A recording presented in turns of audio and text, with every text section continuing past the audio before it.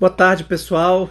Vamos entrando, vamos ficando à vontade, sentando-se à mesa para o nosso bate-papo sobre mentoria acadêmica e intelectual. Já estou vendo alguns amigos, professor André Gabi, o Carlin. Bem, Amanda, Tadeu. Vamos entrando, pessoal. Já temos aí que eu tenha visto pelo menos uns 15 ou 20 que mandaram a carta. E o nosso objetivo é começar uma conversa é, aberta para todos vocês, principalmente para os que tenham demonstrado. Oi, Dário, tudo bem, Lucas? Oi, Efraim, tudo bem, amigo? Vamos lá, galera, já somos 22. Não interessa a quantidade. É, primeiro ponto que eu queria deixar bem claro é que a mentoria, o ideal é que ela seja individualizada, que eu possa conhecer você, saber quais são as suas intenções, quais são os seus objetivos, onde você está e onde você quer chegar, para que eu possa, com a minha experiência, compartilhá-la e mostrar com a minha experiência acadêmica, com a minha carreira acadêmica e com a minha é, força de, de trabalho intelectual que eu possa compartilhar essa experiência com você de modo a dinamizar a vida intelectual e a vida acadêmica. E por isso eu pedi a carta. Nenhuma mentoria pode começar sem que o mentorando, que é você, saiba minimamente o que quer. Saiba é, onde está e para onde quer ir. Quando a gente faz uma primeira análise vocacional para mentoria, segundo eu tenho estudado já há algum tempo, porque vejam, eu estou começando esse projeto com vocês. Eu tenho cultivado esse projeto no coração há muitos anos, mas ainda não o tinha deflagrado e levado a cabo esse projeto, porque primeiro eu quis me formar e quis ter mais experiência. Completei 10 anos de carreira acadêmica no magistério superior como professor e 5 anos como orientador, de modo que eu já me sinto preparado, maduro e capaz de ajudar as outras pessoas a seguirem esse caminho. Eu já tenho muitos orientandos e muitos alunos do dialético que eu já tenho esse tipo de conversa mas ainda informal, como amigo, para trocar ideias, para ajudar a realizar a vida intelectual e acadêmica deles. E agora eu quero profissionalizar essa atividade. E eu estou começando então a abrir para vocês para que a gente possa é, é, conversar, trocar ideias e, e, e, desenvolver essa vida. Então, primeiro ponto, a mentoria seria individualizada. Em fevereiro a gente vai começar a mentoria individualizada. Muitos que mandaram a carta já confirmaram o interesse que querem fazer a mentoria individualizada.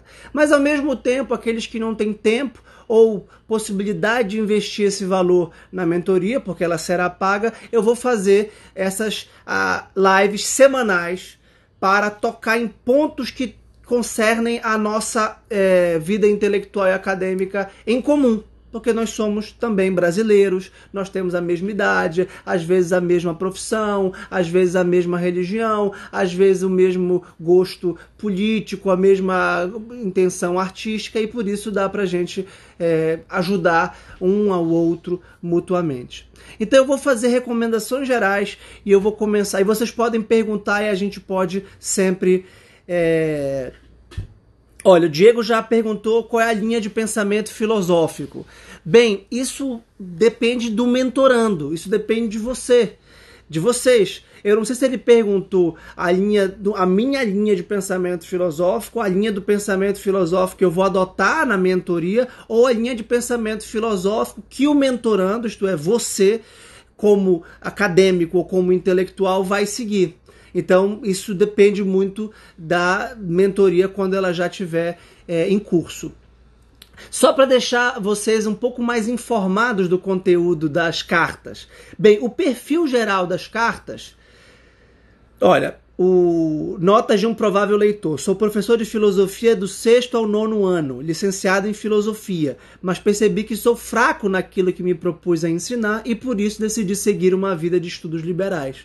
Ora, essa é uma grande meta. Ele já tem uma profissão, já tem uma atuação profissional e tem um desafio profissional e intelectual. A meta dele é ser bom em literatura e filosofia.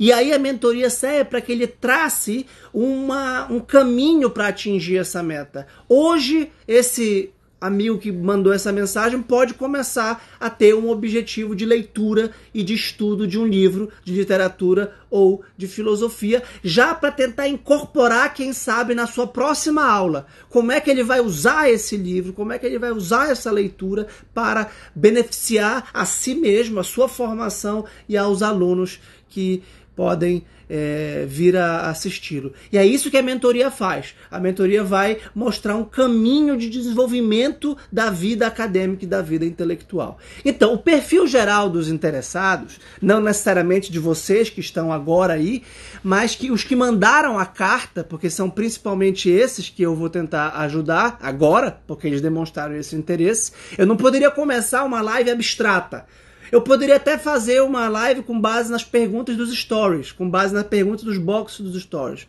Mas isso ainda é muito incipiente. É necessário um mínimo de conhecimento de quem são vocês, do que vocês já sabem, do que vocês querem saber e com qual finalidade.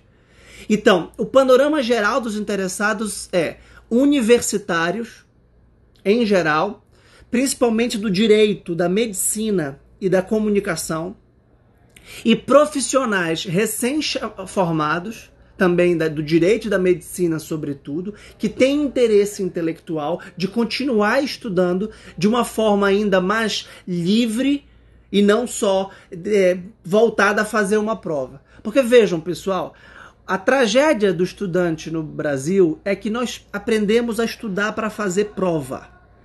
Nós aprendemos que estudo é alguma coisa que a gente precisa preparar para adestrar o nosso intelecto, reter uma série de informações para que a gente as reproduza no dia da, da prova. A gente precisa estar tá adestrado intelectualmente. E isso nada mais é do que o assassinato da educação. Porque a educação, por natureza, é uma forma de amor, é uma forma de liberdade, é uma forma de curiosidade, é uma forma de desenvolver o intelecto para a edificação interior e a contribuição social. Quando a gente tem apenas a educação como uma resposta extrínseca e precisa responder a, ao que vai cair na prova, quando acaba a prova, acabou o estudo. É muito engraçado porque eu tô de férias agora. Eu tirei dois, duas semanas de descanso. Só que mesmo em descanso, mesmo aos domingos, eu tenho fome intelectual. Eu não vou jejuar intelectualmente, aliás, seria um grande é, sacrifício, uma grande abstinência, quem sabe quaresmal, quem sabe para a Semana Santa, para mim deixar de ler um dia. Porque eu não aprendi que o estudo, ou pelo menos eu reaprendi a estudar por é, necessidade. É como respirar é como comer, tá? Então, profissionais recém-formados que querem começar Olha, o professor Gabi dizendo ex ducare, trazer para fora o que a pessoa tem de melhor. Né? Eu sempre esperava as férias para estudar o que eu queria. Porque ele quer estudar certas coisas, porque ele tem necessidade, porque essas coisas os apetecem, porque essas coisas são centrais, são decisivas. Eu preciso saber. Olha, a Anne dizendo: Eu tenho essa fome, mas sem direção. Então, a grande maioria das cartas, a grande maioria dos que escreveram, e vocês sobretudo, eu digo a grande maioria porque teve dois e três que são é, praticamente prontos, que estão assim, pedras já esculpidas. Eu nem mereço ser considerado o escultor. Porque veja, eu sou apenas o escultor do mármore que é vocês. A partir da matéria-prima que é vocês, eu vou desenvolver os talentos e as capacidades de vocês. Então, eu não tenho direção. A, a maioria das pessoas não tem foco, não tem determinação, consistência, gostam de muitas coisas. Vejam que é, uma, que é ótimo. Quando você escolhe, por exemplo, direito, você, se, você gosta de direito, há um universo enorme do direito.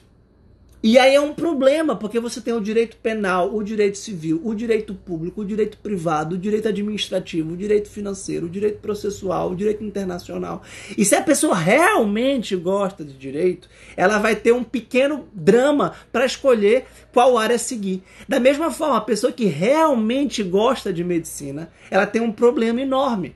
Ela vai ser talvez uma clínica geral, porque tem muitas coisas é, interessantes é, na medicina, no corpo humano, na psiquiatria, na, na, na psicologia. Então, quem gosta de psicologia tem um universo inteiro para estudar. Então a gente sempre precisa tomar certas decisões. Faz parte da maturidade tomar certas decisões e obedecer a si mesmo. E isso significa a conquista do senhorio de si próprio, o autodomínio, o autocontrole. Quem governa a minha vida sou eu. E para isso eu preciso me obedecer. Eu não serei livre se eu me desobedecer a mim mesmo todos os dias. A minha personalidade não terá uma unidade. Eu não posso mudar de profissão toda semana, eu não posso mudar de família toda semana. Eu tenho esposa, filho, trabalho na Universidade Federal do Pará, da, na, no CESUP, eu tenho meu projeto dialético, eu estou me comprometendo aqui com vocês. Eu marquei ao meio-dia, às duas e meia eu tenho uma reunião. Então, na vida intelectual não é diferente, muito menos na vida acadêmica. E aí é muito simples. Isso vale para todas as cartas. Praticamente todos disseram eu não consigo concluir um livro. Claro, o problema é que os livros são muito interessantes. E existe uma satisfação, até com o componente neurológico, do novo. Depois de três dias, o livro não é novo. E a gente quer ir numa livraria real ou virtual para comprar um novo livro. A gente quer saber as novidades. A gente quer conhecer uma nova pessoa. A gente quer conhecer uma nova página, uma nova ideia, porque a gente tem o gozo da novidade. A gente quer conhecer uma nova cidade. E aí vem, é, depois que você, a partir do interesse pelo novo, a partir da, da expectativa do diferente, você consegue conservar minimamente o endereço, o, o interesse, você fecha para o novo por enquanto e dedica-se a concluir esse livro. Então, olha, Meta para todos nós, a começar hoje, nessa semana da mentoria geral: concluir o livro que estiver lendo, independente de qual seja. Tá? Independentemente de qual seja, nós vamos concluir os livros que começamos. Então, isso tem que ser uma espécie de luta intelectual. Eu vou concluir o livro que eu comecei. Se você estiver lendo um romance de 800 páginas, como Thomas Mann, A Montanha Mágica, você vai concluir. E você pode, de algum modo, ter uma ideia de quantas páginas você tem que ler por dia para concluí-lo em determinado tempo. Vou dar um exemplo para vocês. Eu, eu, tenho essa meta há mais de 10 anos. Eu nunca deixo de concluir um livro. Porque por mais que o livro não valha tanto a pena, vale o esforço moral de concluí-lo. Vou repetir. Por mais que eu não conquiste uma virtude intelectual, de inteligência, de erudição, de sabedoria a partir do livro, eu conquisto é, uma virtude moral de perseverança, tenacidade, objetividade e cumprimento dos meus deveres. Da mesma forma, um processo para o médico. O médico tem que a, a, a concluir um processo de tratamento. Ele não pode dizer, olha, agora eu não quero mais. Ele está sendo pago para acompanhar um paciente. O advogado está sendo pago para acompanhar um processo. O professor está sendo pago para acompanhar uma turma. Eu não posso sair da, da, no meio da aula. Agora a leitura tem um problema. A leitura sou só eu e o livro. E ninguém me cobra aparentemente. Mas agora tem alguém que vai cobrar você. E não sou eu. É você mesmo. Você vai dizer para você mesmo: eu tenho que concluir esse livro.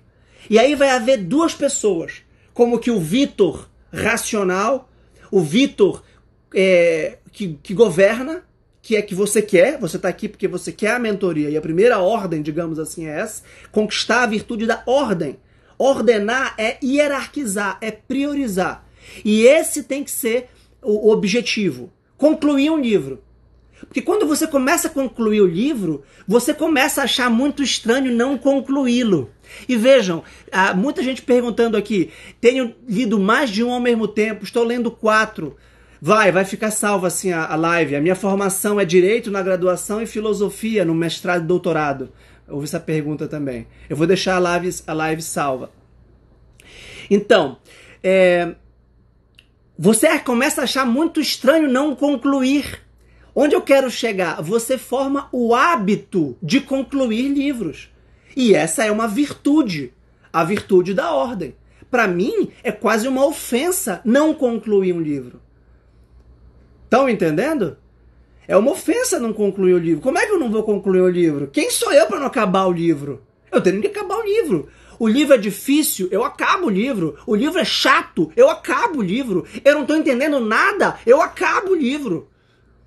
Ah, professor, mas não valeu a pena. Claro que valeu a pena do ponto de vista moral e do ponto de vista intelectual, porque certos livros só se revelam no fim. Certos livros, você precisa acabar o livro. Acaba com isso de não acabar o livro. Isso é uma coisa horrível. Né? Então esse problema, e veja, não é um problema é, místico, um problema transcendente. Não, é acabar o livro. É uma dimensão de trabalho. Eu vou acabar o livro, eu vou acabar o artigo. Né? E vejam, aqui então, primeira meta: acabar o livro. É, acabar o livro de qualquer jeito. Claro que esse não é o ideal. Mas João Paulo II, o grande Papa, dizia: o pior terço é o não rezado. Né? Um terço mal rezado é melhor do que um terço não rezado. Um, um, um livro é, um livro mal lido é melhor do que um livro é, não lido, tá? Não concluir um livro é, é, falta de respeito com o autor, consigo mesmo e com as pessoas que poderiam aprender com você por causa dessa leitura. E tá aí a perfeita intervenção do, do Carlos. Tá? Segundo ponto, muita gente reclamando e constatando tá, da dispersão. E aí a dispersão pode ter duas dimensões. Ou uma dimensão é, momentânea, eu não consigo focar por mais de 20 minutos, 30 minutos, às vezes 3 minutos. Né? A imaginação puxa para um lado, o olhar puxa para o outro. Eu quero me esticar, eu quero tomar um café, eu quero e aí, é, o principal ponto para lutar nessa dispersão momentânea é tirar do horizonte de alcance elementos dispersivos. Por exemplo, o celular. A gente pode certamente concluir é, que o celular é o nosso maior inimigo para a concentração atual. Por quê? Porque o celular tem a função multitask o celular, como a internet, a gente abre várias janelas. O que é maravilhoso para fazer várias coisas ao mesmo tempo, mas é péssimo para leitura que exige a nossa concentração plena. É? Olha, o, o Matos falando, e mesmo que não entenda tudo li, todo o livro, anota os pontos do que estou lendo e vou estudá-los em separado, para depois voltar ao livro e aí entendê-lo por completo. Claro, e aí vejam, eu estou me referindo a uma leitura num primeiro nível. A gente vai estudar, várias, vai perceber várias, é, várias formas de ler, várias formas de estudar, várias formas de anotar. O Matos está se referindo a uma leitura de estudo, uma leitura mais aprofundada.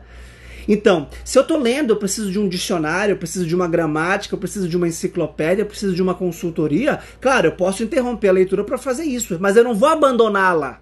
Esse aqui é o ponto, tá? Então, concentração, pessoal, tanto quanto a ordem é treino, é exercício, é virtude, é conquista de hábito. E mais uma vez entra a nossa força, a nossa fortaleza, a nossa virtude da perseverança. Não, eu vou desligar o meu telefone entre as 9 e as 11 horas da manhã. E pronto. A minha, minha mãe está no hospital, a minha filha está precisando de mim, a minha esposa está esperando. Então não é urgente. E agora é o horário que eu me reservei para isso. Agora é o horário que eu reservei para a leitura. Esse é um horário sagrado. Esse é um horário sagrado. Aqui a Mirella dizendo que só sabe ler grifando. E esse é um ótimo método. A questão é aprender a grifar. Eu também vou ensinar isso para vocês. Porque também há formas melhores de grifar do que outras. Mas aí por que o grifo? Porque é uma leitura ativa. Por que a escrita? Porque você está lendo e respondendo à leitura. Você está comentando o que o autor está dizendo. Você está querendo também exteriorizar e não só interiorizar. A leitura é um diálogo. Você participa com, com o leitor. Bem, eh, o professor André Gabi perguntando quanto tempo de leitura diária? Bem, aí isso depende de cada vida. Né? Eu diria que duas horas de leitura diária, eu acho que o Sertilange diz isso também. Duas horas de leitura diária é suficiente para manter a vida espiritual acesa. O que você tem que ter, pessoal, é uma vida intelectual acesa, quente, você tem que ter uma vida intelectual vibrante. Essas coisas têm que fazer sentido para você, de modo que você acorde no outro dia com fome, com apetite. Você não pode dizer assim, bem, mas hoje eu não vou ler, paciência. Tem que, tem que ter, sentir falta. Sim, Carlos, eu diria que duas horas seguidas de leitura, concentradas. Então, se você tem dispersão por ir à cozinha, se você não, não, não vá à cozinha, fecha a porta da cozinha e deixa a chave da, lá longe. De modo que quando você tiver que sair para ir à cozinha, você seja incomodado e, e surja na sua memória, na sua inteligência, aquele Vitor, não eu, mas aquela figura dentro de você que é a livre, que é a que manda. Não vá na cozinha. Não vá na cozinha. Se eu quero ver o celular, eu vou dizer, não, eu não vou ver o celular. O celular está desligado, está dentro da mochila que está do outro lado da sala. E só o fato de ter que levantar, abrir a mochila, ligar o celular, já são três impedimentos que me constrangem e que me lembram que eu sou o senhor de mim, que eu sou livre e que eu vou obedecer a mim mesmo e que eu não serei livre se eu quiser me libertar a mim mesmo dizendo: "Ah, mas eu sou livre, eu vou ligar o celular agora". Não, você não é livre porque você não é capaz de obedecer a sua própria resolução nem em duas horas, né? Nem em duas horas. É, essa pergunta aqui é muito interessante sobre audiobooks. Eu desenvolvi uma capacidade, com o tempo, claro, de me concentrar é, escutando videoaulas da The Great Courses, que é uma, é um, são os melhores cursos que eu considero do mundo em inglês, no carro. Eu escuto audiolivros e principalmente aulas quase todos os dias no, no carro e correndo. Eu, eu advogo muito audiolivro. Eu acho que a gente tem que aproveitar todos os tempos que nós temos disponíveis para aprender. Eu assisto aulas, portanto, de cursos o mais diversos, no aeroporto, na esteira, em fila, na rua. Com certeza não, Aline. É ótimo. Acontece que é claro que o seu nível de atenção não está no grau máximo. Vejam, pessoal, eu tenho estudado essas psicologias do estudo, sociologias do estudo, e os americanos, sobretudo, estão muito avançados nesse tipo de metrificação. Qual é de 0 a 100 ou de 0 a 10 o seu nível de concentração agora, por exemplo? Você está aqui nessa live, você está acompanhando tudo que eu digo, você está escutando todas as palavras, você está é, pensando em outra coisa, você está ansiosa para o que vai acontecer depois. Você está esperando o resultado, o preço da, da mentoria, o horário do almoço. E, e, claro que você não vai ter de 0 a 10, 10. Você pode até ter 10. E eles estimam que há 20 minutos do ápice da concentração, apenas. E que depois de 20 minutos é como se o cérebro automaticamente se dispersasse. Isso é, há vários treinos de concentração para atletas de alta performance, para intelectuais de alta performance. Né? Outro dia me perguntaram quantas horas eu era capaz de ler. Eu já li oito horas seguidas. Eu já, eu já estudei oito horas sem parar, sem me dispersar. Não quer dizer que a minha mente não tenha saído, porque a mente é dispersiva, mas eu não me disperso. Tá? Então, vamos tentar afastar o celular, afastar tudo que puder nos distrair e reservar esse horário de uma forma comprometida. Comprometida com quem? Com você mesmo. Se eu for o seu mentor particular, eu vou lhe cobrar. E eu vou pedir que você me preste contas, entre aspas, do da fecundidade das metas que nós traçarmos. É claro que você está me pagando, eu não vou lhe cobrar e não vou lhe cobrar juros, eu não vou lhe cobrar mais. Mas é, é, do ponto de vista moral, eu vou tentar ajudar vocês a terem liberdade. Então o estudo nesse sentido é uma forma de trabalho, é uma forma de compromisso. Bem, é, outra pergunta que foi feita aqui e que está também nas cartas.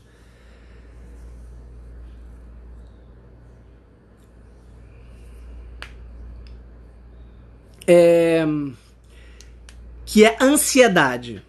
Muitas pessoas não conseguem começar a vida intelectual ou a vida acadêmica porque têm infinitos interesses, porque sempre querem ler alguma outra coisa, porque sempre precisam antecipar o dia de amanhã e começam a patinar e ficam ansiosas, curiosas e começam a recorrer normalmente a internet, a YouTube, a Instagram e ficam se embebedando, ficam se bastante é, dispersas porque vendo tudo e acabam não estudando.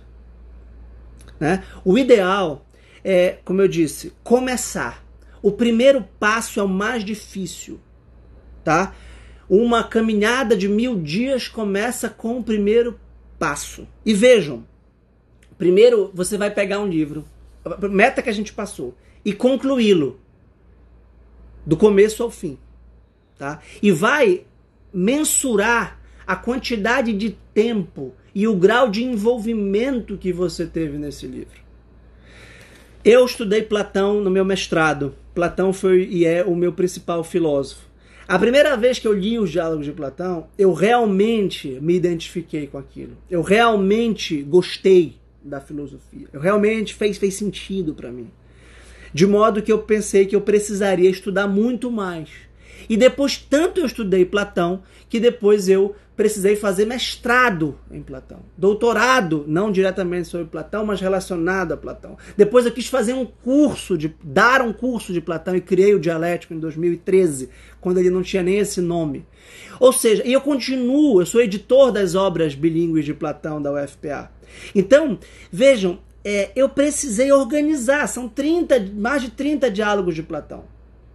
Eu precisei traçar uma ordem cronológica de diálogos que eu Eu já tenho os diálogos. Tudo bem, então eu vou comprar os diálogos, eu vou gastar um tempo pesquisando, conversando, mas depois tem uma coisa que eu tenho que fazer, é ler Platão. Ah, mas eu não sei grego, mas eu não tenho as edições em grego. Na minha época, quando eu comecei a estudar, a internet não era como é hoje.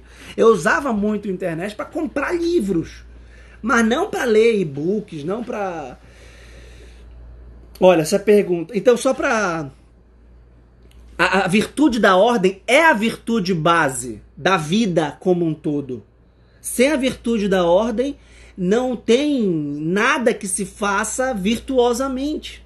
Então, a virtude da ordem aplicada aos estudos é uma fundamental. É, a Karina perguntando quantos anos eu tenho? 34 anos. Eu comecei a minha vida intelectual aos 16 anos nos Estados Unidos da América com uma questão muito real, imposta à minha vida. Porque os Estados Unidos são ricos e o Brasil é pobre? Porque a escola pública em que eu estudava nos Estados Unidos funciona, é boa e a do Brasil é suja, é quebrada e não presta? Porque o esporte é valorizado nos Estados Unidos e porque o esporte não é valorizado no Brasil? Eu comecei a ter essas perguntas. Por que a formação inglesa dos Estados Unidos da América nas 13 colônias foi diferente da formação portuguesa no Brasil? Então eu comecei a estudar história americana. E olhem que interessante. Nos Estados Unidos tem esse regime bastante meritocrático de valorizar as capacidades individuais dos alunos. Pois no segundo dia de aula de história americana que eu cursava, me catapultaram para uma história americana avançada para aqueles que iriam para é, é, para a faculdade de, de. Bem, eu tenho muitas respostas, muitas hipóteses. É, e uma escola, uma história americana que era avançada, porque envolvia a história do pensamento inglês, do pensamento americano, era um pouco de filosofia. Tinha, por exemplo, os iluministas. Eu estudei com, comecei a ler, a me aproximar dos filósofos contratualistas modernos, John Locke, Jean-Jacques Rousseau, Montesquieu, Thomas Hobbes, lá nos Estados Unidos para estudar a arquitetura constitucional de uma democracia liberal. Ou seja, filosofia política. Mas não filosofia política abstrata. É porque eu via ali nos Estados Unidos um regime político, uma organização social e uma tradição religiosa diferente da brasileira, que resulta numa sociedade, numa cultura diferente. E isso me deu uma curiosidade real, não abstrata. A vida intelectual depende de uma curiosidade real. Isso é muito fácil de ser entendido para quem tem uma profissão ou uma religião intelectualmente entusiasmante. E agora, se você não tem uma profissão e uma religião que desperta o seu intelecto, que torna os que lhe faz pensar, que lhe estimula intelectualmente, eu não estou dizendo que você deve abandonar a sua religião, a sua profissão. Não faça isso para ter vida intelectual. De jeito nenhum. Cumpra a sua profissão e cumpra a sua religião. Obedeça às normas, siga. Isso lhe dá liberdade interior. Isso lhe dá profundidade moral. Tá? Cumpra o seu trabalho. Tá? Agora, o que lhe desperta interesse, isso sim deve motivar a vida intelectual. Olha, as pessoas comentando e, e falando sobre o sono. Bem, o sono pode ser, primeiro, um sinal de cansaço real. Uma noite mal dormida é a pior coisa para a produtividade. O sono é o nosso maior combustível. Um bom sono e a boa alimentação é o que há de mais importante. Tá? Não, não deve jamais abandonar isso.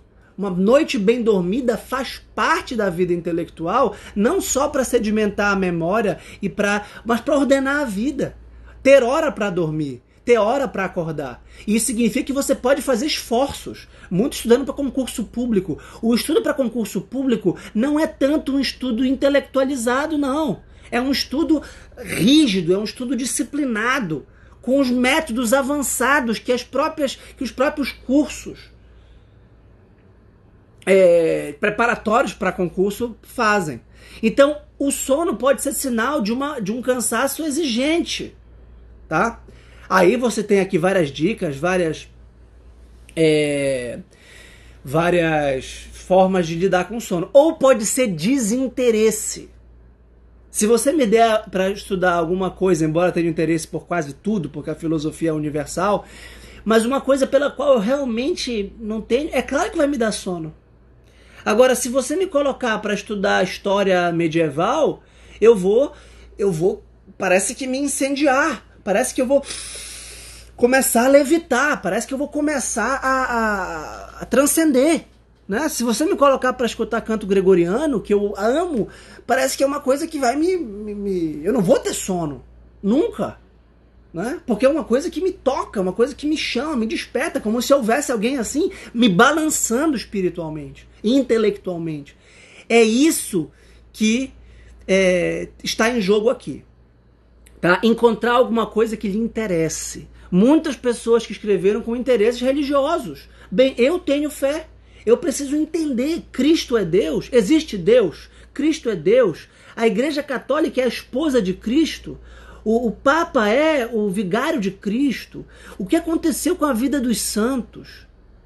Né? Porque eles conseguiram viver dessa forma. Qual é o problema do mal? Porque algumas pessoas não têm fé e outras têm. Como é que eu pratico as virtudes teologais da fé, esperança e caridade? Aliás, o que é a caridade? O que é o amor? Que, como é que eu devo fazer? Qual é a ordem do amor, como dizia Santo Agostinho? Aliás, será o título do meu livro, se der tudo certo, a, a crise da cultura e a ordem do amor. É, amar ao próximo, que próximo? Como a si mesmo. Como é que eu amo a mim mesmo? Cristo disse: é, amar como eu vos amei. Ninguém tem amor, amor maior do que aquele que dá a vida pelos seus discípulos. Bem, como é que eu vou amar como Cristo me amou? Isso é toda uma questão intelectual. E aí, você tem essas questões. Ou, se você é protestante, bíblicas, diretamente bíblicas, porque essas questões também são diretamente bíblicas, ou a sua tradição protestante específica, você tem interesse em João Calvino, em Martinho Lutero, né? em você, não sei, é metodista, é pentecostal, é, você é pentecostal, você tem interesse na história da sua tradição religiosa, ou você é ateu e quer dizer ao contrário, não, eu tenho, eu tenho uma intuição de que Deus não existe. E eu quero entender isso, estude o ateísmo. E quando você começar a pensar qualquer dessas coisas, você tem que reconhecer o seguinte: você não é o primeiro ser humano na face da Terra que levantou essas questões. Quaisquer questões que você levante, por serem questões humanas, por serem questões reais, elas já concernem uma tradição humana. Várias pessoas já pensaram nisso tudo. E provavelmente pensaram mais e melhor do que você. Que não teve uma boa formação, que não teve uma boa educação, provavelmente. Se você é brasileiro do século 21, você provavelmente se encaixa nesse quesito. Por exemplo, muitas pessoas na carta dizendo: preciso aprender o português. Em determinado momento da minha vida, eu vou contar uma história para vocês que eu sempre conto para os meus orientandos. Eu passei em terceiro lugar da seleção de mestrado em filosofia da Pontifícia Universidade Católica do Rio de Janeiro, PUC Rio. Era uma boa posição, eu ganhei bolsa, principalmente por causa da, da, de ganhar bolsa, de poder me sustentar no Rio. E o meu projeto ficou bem feito e eu fui elogiado lá. É, e a professora Maura Iglesias, que é uma conhecida platonista do Brasil, disse: Seu projeto está bem feito, você até escreve bem, mas não sabe crasear. Você tem que aprender a usar e empregar a crase. Aquilo ali para mim foi é, devastador por um lado, mas eu não me derrotei, eu não me acanhei. O que, que eu fiz? Eu fui estudar gramática, porque eu não tinha uma boa formação gramatical. De modo que eu estudo todos os anos gramática. Eu tenho uma coleção de gramáticas e eu amo gramática, porque eu estudo as línguas estrangeiras. E para conhecer as línguas estrangeiras, eu preciso compará-las gramaticalmente com a língua materna. Olha, o Gabi dizendo, é preciso humildade para se dedicar à intelectualidade. Claro que é preciso humildade. Lembremos do grande mote de Sócrates: só sei que nada sei. E quanto mais eu sei, mais eu reconheço que eu menos sei, porque menos eu sabia do quanto ainda posso conhecer. Tá? Quanto mais a gente estuda, quanto mais a gente começa é, a estudar, mais a gente vê o horizonte vastíssimo. Sim, a gramática metódica da língua portuguesa é um excelente, é, um excelente começo, sem dúvida nenhuma, do, do grande professor Napoleão. Então, vejam só, vamos retomar aqui uma coisa. Quando você começar a estudar, você vai precisar de leitura. E a leitura de quem? Aí você precisa de um mentor para lhe ajudar a saber o que ler. Então consulte as pessoas experientes. Podem, pode ser eu no, story, no privado, se você for meu mentorando, pode ser um professor, pode ser um profissional mais experiente. Então você é médico psiquiatra, teve duas cartas de psiquiatras, né? E disseram que tem interesse. Pô, psiquiatria é um mistério. A, a, a, a, psiquiatria é uma maravilha. Entender as disfunções orgânicas, psicológicas, neurológicas, fisiológicas, as fobias, os traumas, os neurotransmissores. Existe um universo. E o ideal é que você não se sinta satisfeito com o que aprendeu na faculdade ou na escola você busque as referências, as tradições intelectuais, entender quais são as editoras, quais são as linhas intelectuais, as correntes filosóficas, ou psiquiátricas, ou psicológicas. E aí você vai começar a ser um leitor agudo, uma, uma, uma serpente que é prudente, que sabe né, como, como proceder, você vai começar a ter experiência. Olha, o Efraim perguntando: quero conhecer teologia, filosofia, história, direito e político. E política. É ser muito disperso? Não, claro que não. Porque você conheceu o ser humano. Você conhecer a relação do ser humano com Deus, do ser humano com o seu conhecimento e com o cosmos, o passado do ser humano, a expressão artística, literária do ser humano, a sua organização normativa, as suas estruturas de poder, as suas instituições sociais. Então, vejam, essa distinção em disciplinas, ela costuma ser formal, ela costuma ser apenas epistemológica, ela costuma ser apenas uma divisão é, é, disciplinar. Então, nada impede que você leia um livro de cada disciplina, de preferência por vez. Eu, eu não quero me comparar porque eu estou numa outra fase da vida, numa outra fase da vida intelectual. Eu leio vários livros ao mesmo tempo. Eu preciso preparar várias aulas diferentes. Eu sou requisitado é, para palestras de temas diferentes. Eu preciso ler livros de formas diferentes. E com, todo, com toda modéstia, eu posso me dar o luxo, nesse momento, de não concluir um livro. Mas eu não quero que vocês pensem assim. Eu quero que vocês pensem, eu vou ler um livro por vez e vou concluí-lo. Depois eu posso passar da teologia para a filosofia. E eu, depois que eu tiver lido um livro de história, um livro de filosofia, um livro de teologia, um livro de direito e um livro de política, e eu tiver de algum modo alimentado a expansão do meu horizonte, eu vou aprofundar em cada um deles. E eu vou ler um segundo livro, eu vou ter uma lista ordenada. A mentoria serve para isso. Nós vamos, nessa mentoria aberta, começar a fazer leituras é, juntos. E aí eu quero que todos nós leiamos a cada semana certos livros. A gente vai começar com textos pequenos e com contos que são pequenos. Né? A importância de educar o imaginário. Pessoal, a nossa faculdade intelectual é indissociável da nossa faculdade imaginativa. A nossa inteligência verbal, conceitual, decifrar o mundo por conceitos, por palavras, por termos, depende da nossa imaginação depende da nossa capacidade de criar imagens. E a nossa criação de imagens é mais potente ou mais fraca de acordo com o nosso músculo literário. De, de, acordo com a nossa formação poética. O nosso imaginário é povoado por, não só por. A nossa inteligência é povoada por palavras. Então a gente precisa multiplicar o nosso vocabulário. A gente precisa dominar o vernáculo, aprender a falar, aprender a escrever. Como é que eu aprendo a falar e a escrever? Lendo e escutando. Acontece que hoje em dia muita pouca gente fala bem. Há poucos oradores que eu conheço para ter serem grandes modelos de, de oratória que falam com fluidez, que falam com constância, que falam com é, concordância. Né? Então é melhor a gente se refugiar nesse caso da leitura. Se você encontrou um grande orador, escute-o. Veja como ele fala, veja como ele articula. Não é só a sua fonoaudiologia, não é só a sua dicção, mas a sua articulação, o seu pensamento ordenado. Veja se ele consegue capturar a sua atenção. Eu vou dar talvez um exemplo de, de um grande orador no Brasil e um no exterior.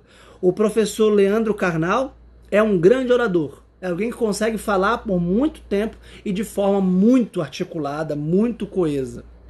E o outro grande orador que em atividade é, no mundo é o, o Jordan Peterson, né?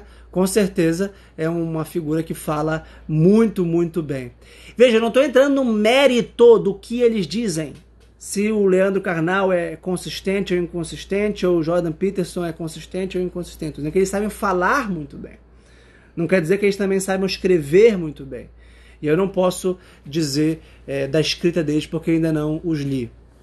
É fundamental ter um mestre nós temos modelos miméticos, conscientes ou inconscientes, para tudo o que fazemos.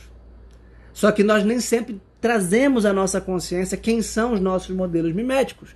Nesse caso, você é, seria bom ter um modelo mimético para aprender a falar. E aí, é, Machado de Assis, bem, Machado de Assis é um dos clássicos, e é esse ponto que eu queria chegar. Como é que a gente escolhe o que ler?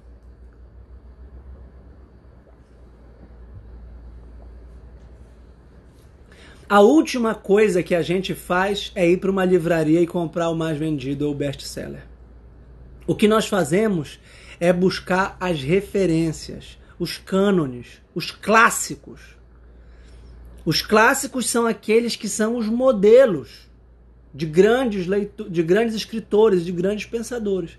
Então é claro que Machado de Assis é um dos topos, se não for o número um da literatura brasileira. É um dos meus autores preferidos. Eu já li muito, já estudei muito Machado de Assis. A minha esposa escreveu um trabalho de conclusão de curso sobre Machado de Assis e iria escrever a sua dissertação de mestrado sobre ele, de modo que nós o estudamos bastante juntos é, por um determinado tempo. E como eu estudei também teoria e crítica literária, e ele é o protagonista da literatura brasileira, é um ponto de inflexão na literatura brasileira, eu gostei muito de Machado de Assis. Pois esse é um grande autor que merece ser lido. Bem, o Schopenhauer, o Schopenhauer também é um grande escritor, é, e, bem, eu não gosto, obviamente, da filosofia, acho uma filosofia errada, uma filosofia pessimista, radical, budista, é, antimetafísica, de algum modo errada, e, mas é um grande autor, é um autor muito importante para entender, por exemplo, Nietzsche e Freud e toda a cultura contemporânea. Então vejam que eu tenho na minha mente a história da filosofia, porque essa é a minha atuação. Então, se você for estudar filosofia, você precisa ter na sua mente uma espécie de filme com toda a história da filosofia.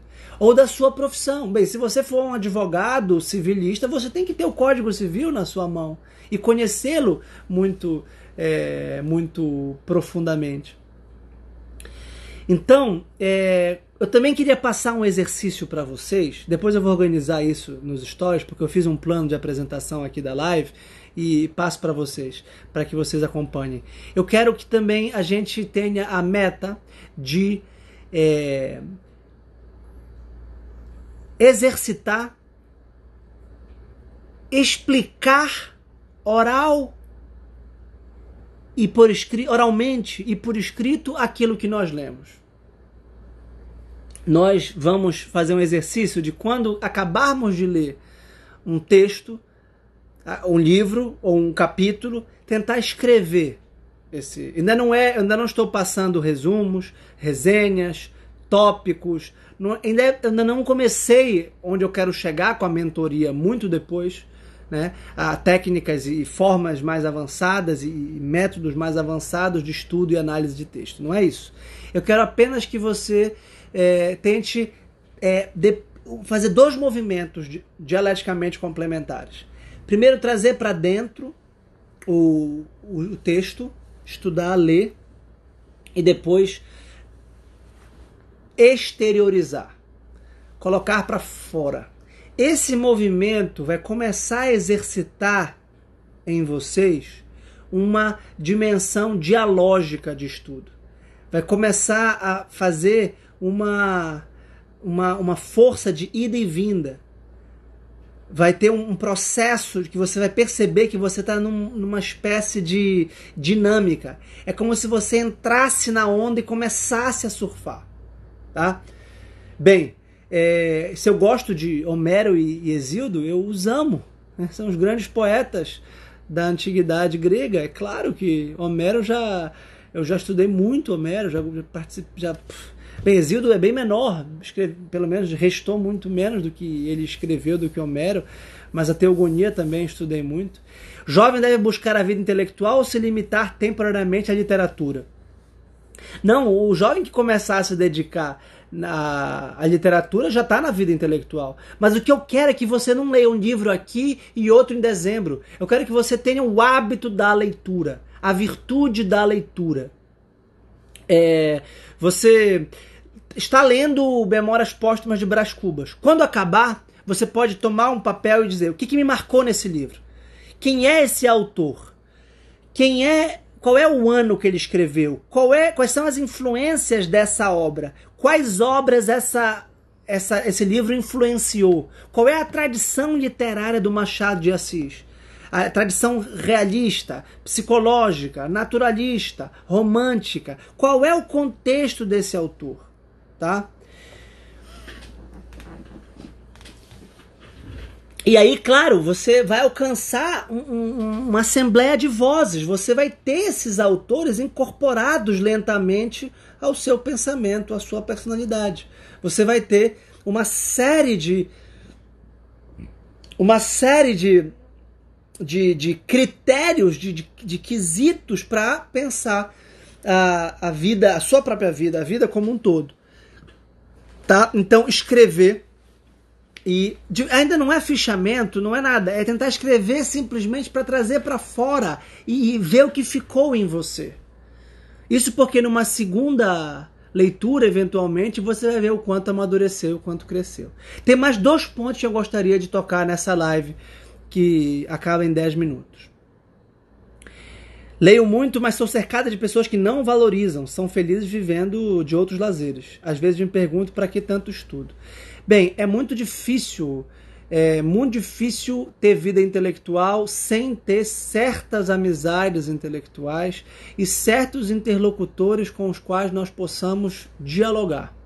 Então, eu sugiro que você procure, Anne, pessoas como você sugiro que você descubra amigos que tenham essa mesma é, inclinação intelectual. Porque é importante, não só para as pessoas de temperamento sanguíneo, é importante dialogar, trocar e, e compartilhar o que nós lemos. Se não for possível, pessoalmente, na comunidade virtual, e aí você encontra vários. É... Olha, eu sou um graduando em engenharia. Claro, Arthur, não é só a mentoria que eu vou fazer para vocês, não é só para estudiosos de filosofia, de direito, de história, de teologia, é para todos que tenham interesse em descobrir quem são, em buscar o, ato, o autoconhecimento. Aqui o Gabi falou, idem vela, idem nole. Amar as mesmas coisas, detestar as mesmas coisas, ajuda muito a termos uma unidade pessoal e, e, e fortalecer a nossa personalidade com pessoas afins. Dois últimos pontos nessa live introdutória geral sobre a mentoria acadêmica e intelectual, que são o tema da religião e da profissão acadêmica. Vamos começar pela profissão. Muitos estão buscando vida intelectual para ter vida acadêmica. A academia é uma profissão de educação superior, as universidades, que exige a vida intelectual. Você pode ter uma. Você pode ter, claro, a vida acadêmica sem vida intelectual, o que é alguma coisa bastante curiosa. Você pode ter uma vida acadêmica de forma burocrática e dar sempre as mesmas aulas, ou ter sempre, ou ser um aluno que não estude e decorar de forma passiva. Não é isso que a gente quer e não é por isso que vocês estão aqui. É para ter uma vida acadêmica ativa. E uma vida acadêmica ativa não é só frequentar congressos e fazer pôsteres, escrever artigos, é realmente integrar a vida acadêmica à vida intelectual. Para isso, o primeiro ponto é encontrar um interesse acadêmico. Encontrar o que realmente estupefaz o nosso coração, o que realmente acende o nosso coração, o que, que realmente inflama o nosso coração. Como muitos devem saber, e vão, se não sabem, vão logo saber, eu sou um grande entusiasta de Santo Agostinho de Hipona. Né, a gente vai ler as confissões em breve, sem dúvida, uma mentoria intelectual sem as confissões de Santo Agostinho não seria uma mentoria intelectual que se preze. Ele é um dos grandes modelos de intelectual do Ocidente de todos os tempos. E vejam que ele era disperso como todos nós. Muitos relataram na, nas cartas que mudam de interesse, mudam de livro, mudam. Aqui já falaram ainda há pouco, ó. Estou, já tranquei várias faculdades. O Alisson já começou uma, já foi para outra. Claro, porque não tem interesse numa e não tem perseverança. E aí eu diria, Alisson, conclua a sua faculdade. A próxima que você escolher, antes de escolher, pense muito bem e depois que você se decidir é, começá-la, conclua essa faculdade. Como eu pedi que vocês concluíssem os livros. E aí, uma vez que vocês tenham identificado esse interesse que, que faz parte da, da, que toca o coração de vocês, leiam artigos acadêmicos sobre esse ponto. Leiam dissertações de mestrado e teses de doutorado sobre esses assuntos. Então, na mentoria é, individualizada, eu sempre vou fazer o seguinte: pedir que vocês pesquisem, é, pesquisem trabalhos já acadêmicos sobre esses temas. Porque aí vocês vão começar a ver como se trata desses temas academicamente. Porque o tratamento acadêmico muitas vezes é um porre, muitas vezes é um saco, mas é a profissão acadêmica e vai ser o ganha-pão de vocês. Vocês não têm que ter nenhuma ilusão romântica em relação à academia. A academia tem muitas vantagens e tem muitas desvantagens, como todo emprego, como toda profissão.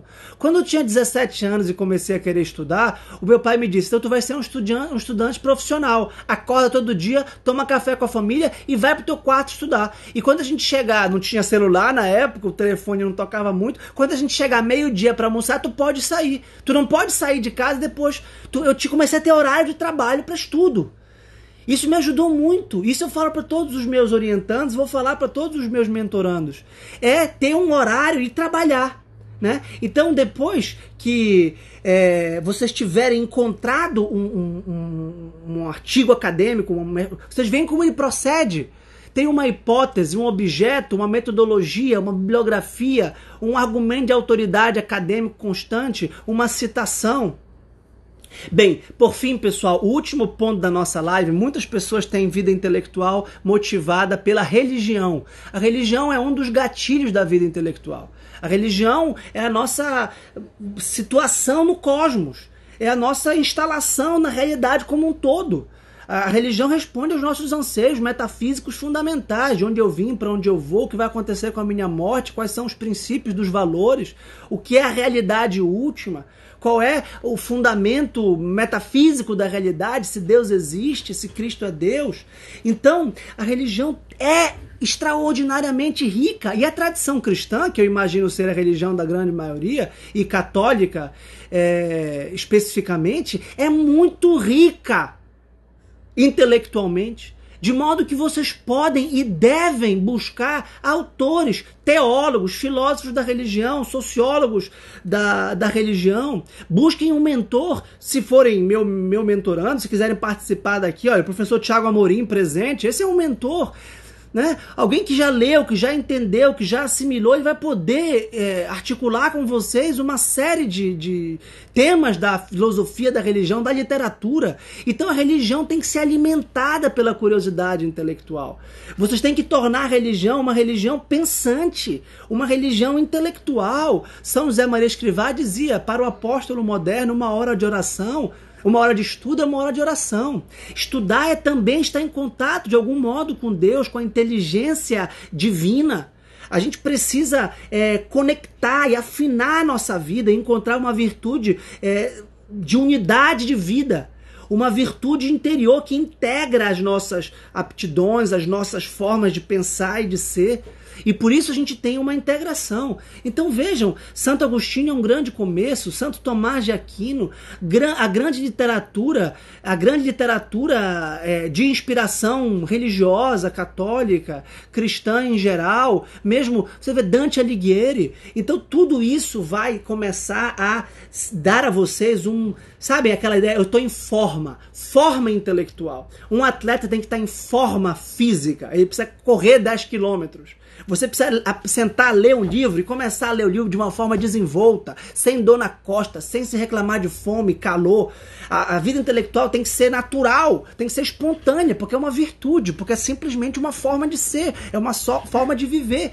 E aí, depois que você descomplica, depois que você tira um pouco essa aura, às vezes mística, às vezes mistagógica, de que a vida intelectual é uma coisa de monges, no, no, você começa a fluir e a mentoria vai ajudar a responder essas perguntas: o que ler, como ler, quando ler, como escrever, como preparar uma palestra, como preparar uma aula. Muitas pessoas na carta é, diziam: Eu quero dar aulas. Claro, a gente quer servir, a gente quer participar, a gente quer compartilhar. Então, naturalmente, dar aula é uma maravilha. É bom ter alunos, é bom ter amigos, é bom ter público. Isso não é vaidade.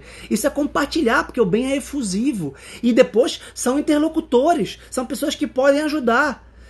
Bem, está acabando o tempo e eu vou encerrar a live agradecendo muito a presença de vocês. Vou logo abrir um, um stories agora para a gente é, concluir e é, agradeço a presença de vocês. Um grande abraço e obrigado.